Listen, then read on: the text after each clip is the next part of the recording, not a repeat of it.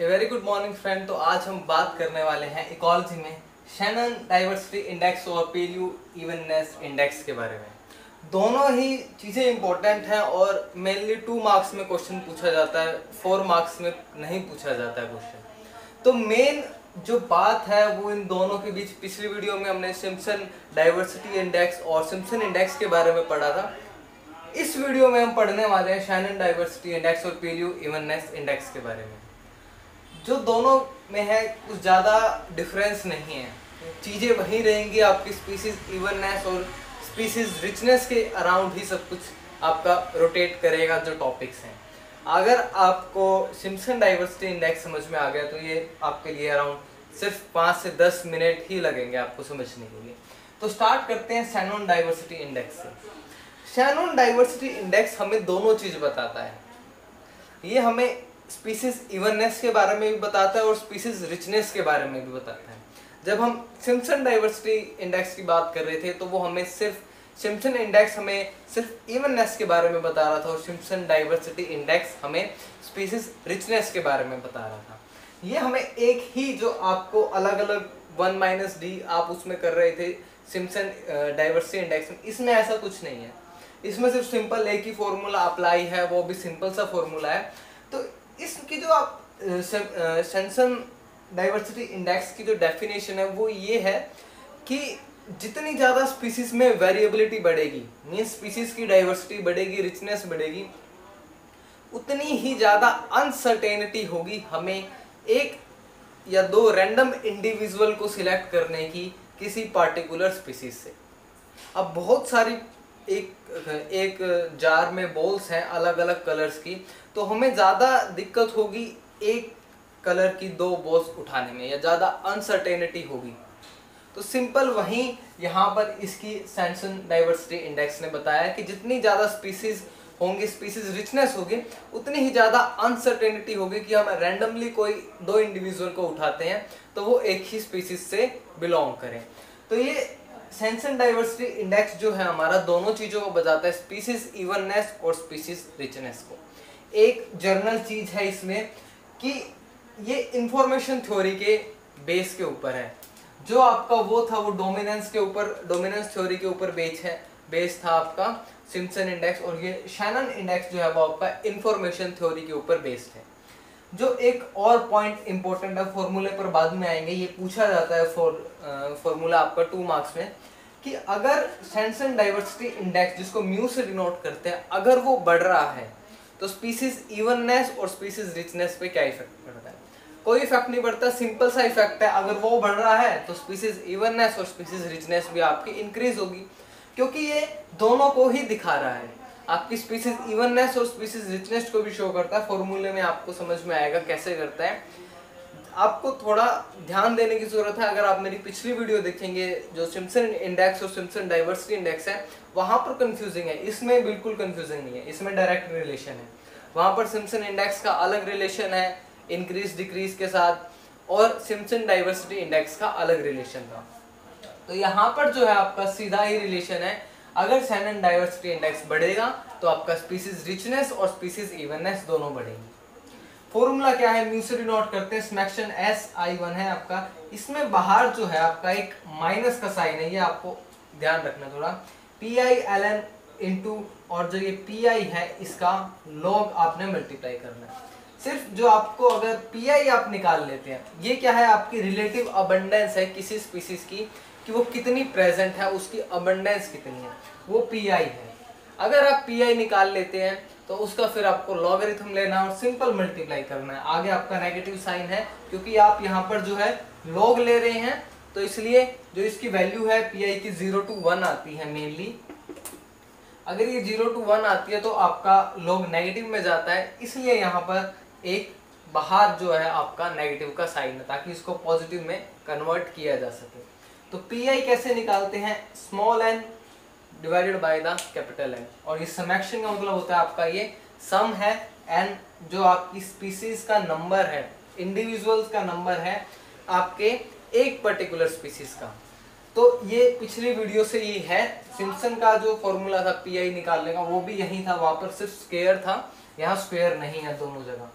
तो एस क्या है? एस क्या है आपका टोटल नंबर ऑफ़ स्पीसीज है। Total number of individual of species नहीं है, वो एन होता है। एस आपका टोटल नंबर ऑफ़ स्पीसीज है। कि स्पीसीज में कितनी स्पीसीज प्रेजेंट है आपकी सैंपल में? एक है, दो है, या मैं कहूँ कितने कलर की आपकी बॉल्स प्रेजेंट है? अगर आपकी चार कलर की बॉल प्रेजेंट है, रेड, ब्लू, ब्लैक, ग्रीन तो आपका जो एस है, वो चार हो जाएगा। अब एस कलर, जो चार कलर है, उनकी कितनी बॉल प्रेजेंट है? अगर 20-20 बॉल चार कलर्स की प्रेजेंट है तो टोटल 80 बॉल्स हो जाएँगे आपके पास, वो आपका एन हो जाएगा। तो एन क्या है आपका? Total number of individual of species individual of all species यही है। और एन क्या है आपका? किसी एक पर्टिकुलर स्पीसीज अगर ये आपका, अगर एक जार है, हम बात करते हैं। इसमें चार कलर की डिफरेंट बॉल्स हैं। Red green black blue yellow ले लेते हैं। तो ये चार कलर की बॉल्स हैं। तो एस आपका चार हो जाएगा। और अगर मैं कहूँ, ये जो रेड कलर की बॉल्स है, उनका नंबर 20 है ग्रीन कलर का 20 है ब्लू कलर का 20 है और येलो कलर का 20 है। तो आपका एन कितना हो जाएगा? एन आपका एटी हो जाएगा, जो यहाँ पर है। और किसी एक पर्टिकुलर बॉल की बात करें हम। अगर मैं रेड की बात करूँ तो एन मेरा 20 हो जाएगा रेड तो पी आई आप ऐसे निकालेंगे तो इसे 20 बाई एटी हो जाएगा। तो इसलिए आपका ये ज़ीरो टू वन आएगा। तो इसलिए यहाँ पर नेगेटिव साइन है, बाद में अगर आप इसका लॉग लेंगे तो ये आपका 0.25 का आपको लॉग लेना पड़ेगा। तो ये नेगेटिव में ही जाएगा। तो इसलिए बाहर नेगेटिव का साइन है।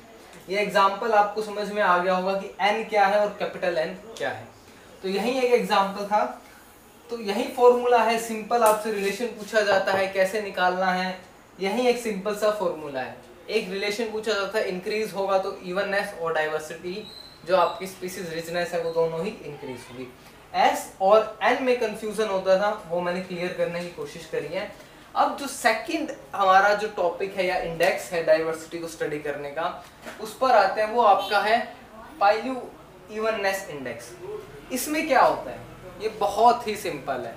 इसमें आपको ऑब्ज़र्व जो आपकी स्पीसीज है ऑब्ज़र्व डाइवर्सिटी है, वो पता है, और जो आपकी मीजर डाइवर्सिटी है टोटल मैक्सिमम पॉसिबल डाइवर्सिटी है, वो पता है। ऑब्ज़र्व डाइवर्सिटी से मतलब है आपका इवननेस से।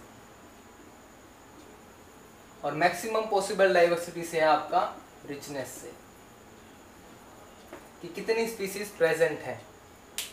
तो इसको हम जेस के ऊपर जो एक डैश है, जिसे हम बार भी कहते हैं, इससे डिनोट करते हैं observe diversity to the total diversity या हम मैक्सिमम डाइवर्सिटी भी इसे कह सकते हैं।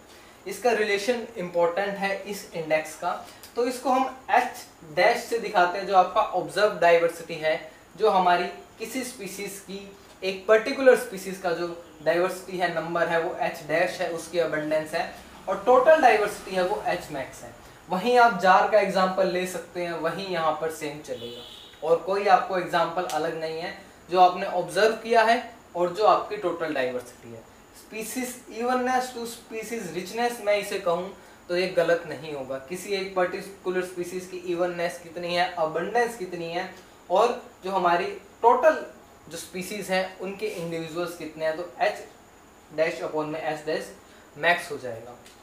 तो एच डैश मैक्स को हम स्पीसीज रिचनेस कह, कह सकते हैं और एच डैश को स्पीसीज इवननेस कह सकते हैं। इसकी वैल्यू भी ज़ीरो टू वन होगी। वैल्यू ज़ीरो टू वन होगी। क्वेश्चन कहाँ से पूछा जाता है? क्वेश्चन यहाँ से पूछा जाता है। जे की वैल्यू अगर कम या ज़्यादा होती है तो स्पीसीज रिचनेस पे या डाइवर्सिटी पे क्या इफ़ेक्ट पड़ता है? सिंपल सा फिनोमिना है अगर आपको फॉर्मूला समझ में आ गया तो। अगर जे की वैल्यू बढ़ रही है मीन्स जो ऑब्ज़र्व डाइवर्सिटी है उसकी वैल्यू बढ़ रही है तो मतलब क्या है? इवननेस बढ़ रही है, किसी एक पर्टिकुलर स्पीसीज की अबंडेंस बढ़ रही है। अगर आपका ऑब्ज़र्व डाइवर्सिटी बढ़ रही है या जे की वैल्यू इंक्रीज हो रही है। अगर जे की वैल्यू डिक्रीज हो रही है तो मीन्स आपकी टोटल डाइवर्सिटी बढ़ रही है, जिसकी वजह से जे की वैल्यू डिक्रीज हो रही है और आपका जो स्पीसीज रिचनेस है, या टोटल नंबर ऑफ़ स्पीसीज थी वो ज़्यादा है तो हम इससे बता सकते हैं। इस जगह आप, अगर आप यहाँ पर स्पीसीज इवननेस लिखना चाहते हैं तो वो भी ठीक है आपका। आपको अगर रिलेशनशिप ध्यान रखना है तो इसको आप एच डैश से और स्पीसीज रिचनेस जिससे आप आसानी से बता सकते हैं कि रिलेशनशिप कैसे सेट होगा। तो यह डिनोमिनेटर में है ये न्यूमरेटर में है ये बढ़ेगा तो डायरेक्टली ये बढ़ेगा। और अगर ये बढ़ेगा तो इसका नंबर कम हो जाएगा। तो ये एक सिंपल सा आप रिलेशनशिप यहीं से सेट कर सकते हैं। तीन, हमने अभी तक डाइवर्सिटी इंडेक्स पढ़े हैं। Simpson diversity Simpson diversity index Shannon diversity index और पीलियो इवननेस इंडेक्स बहुत इजी सी वीडियो थी। आपको आसानी से समझ में आ गई होगी। Thank you so much have a good day and stay tuned